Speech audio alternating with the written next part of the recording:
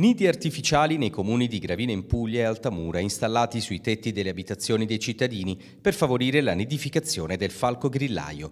Le tante adesioni della gente sono state seguite dai sopralluoghi degli ornitologi e i primi 200 nidi già posizionati consentiranno ai giovani falchetti di mettere su famiglia in tranquillità e sicurezza.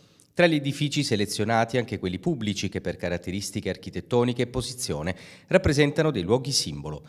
Tra questi le case municipali di Gravina e Altamura, sui cui tetti sono stati posizionati nidi su indicazione degli assessori all'ambiente dei rispettivi comuni, il gravinese Cristian Di Vella e l'altamurano Domenico Cappiello.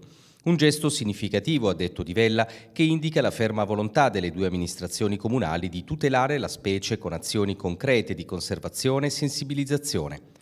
Volontà confermata anche da Cappiello. Ogni cittadino, ha detto l'assessore all'ambiente di Altamura, aderendo all'iniziativa viene reso consapevole di quanto sia importante la propria abitazione per la nidificazione del falco, soprattutto se nell'ambito del centro storico.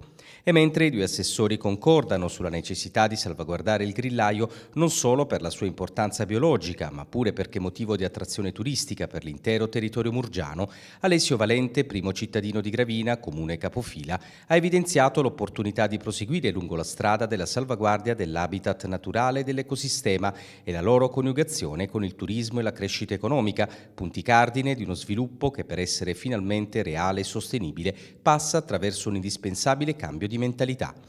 Sarà possibile aderire alla campagna Un falco per amico per tutta la durata del progetto fino al conseguimento degli obiettivi previsti, compilando e consegnando al protocollo del comune di residenza il modulo di adesione scaricabile dal sito del progetto www.unfalcoperamico.it cliccando sul banner Adotta un grillaio.